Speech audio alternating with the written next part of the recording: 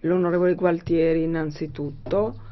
con la sua replica a chiusura di una discussione così vivace e variegata. Prego. Grazie, pre grazie Presidente, ma in questo dibattito sono emersi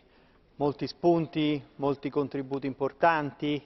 anche alcune osservazioni critiche eh, diciamo, rilevanti e mi è impossibile in questo poco tempo rispondere a tutti. Tuttavia volevo seguire un filo di ragionamento, partendo proprio dall'osservazione giusta del collega Rangel, che sottolinea quello che in realtà è proprio l'obiettivo eh, del rapporto, non quello di parlare di integrazione differenziata come fine, ma quello di sottolineare che essa è un mezzo, un mezzo reso necessario dall'attuale condizione di asimmetria tra Eurozona e Unione, peraltro temporanea, tranne che per, per il momento per alcuni Stati in opt-out, ma che tuttavia l'obiettivo e la filosofia dell'integrazione differenziata come mezzo e non come fine che noi proponiamo è quella appunto di uno strumento per salvaguardare l'unità dell'Unione e per consentire che, che questa integrazione, questa eh, costruzione di una governance dell'Eurozona appunto poggi sulle istituzioni dell'Unione e quindi sia democraticamente eh, legittimata. Anche per questo delle varie procedure che noi eh, eh indichiamo, individuiamo, quella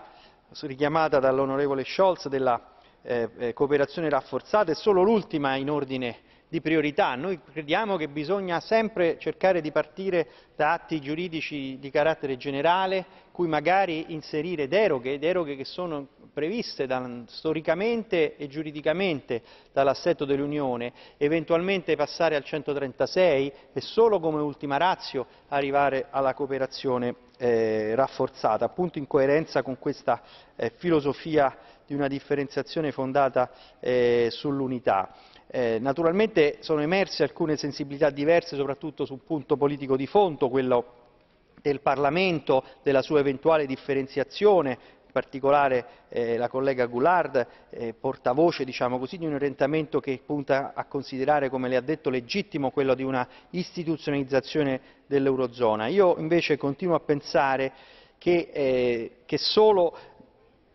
facendo leva sulle istituzioni attuali e non eh, arretrando sul carattere del Parlamento di rappresentante di tutti i cittadini, si potrà dare un'adeguata risposta in termini di legittimazione democratica e che la strada della differenziazione interna al Parlamento, o tra questo Parlamento e un eventuale nuovo Parlamento, non porti molto lontano e peraltro porti in una direzione che è diversa da quella che attualmente stiamo percorrendo. Se si pensa che sull'SSM sia accettato il principio del voto che oggi abbiamo ottenuto, un voto di consenso del Parlamento sul vertice di una istituzione, di una funzione che non riguarda tutti i Paesi dell'Unione, ma questo voto vincolante è stato ottenuto da tutti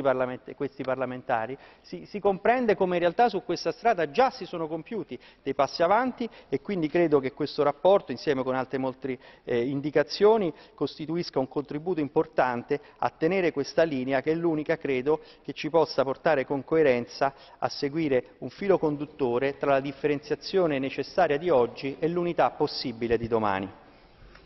Gracias Roberto y vamos a Grazie e, e chiudiamo la discussione con l'intervento dell'altro relatore, l'onorevole Schöpflin. Grazie Presidente. Faccio mie le parole di Roberto Gualtieri, è stata una discussione estremamente interessante da cui eh, traggo alcuni elementi che voglio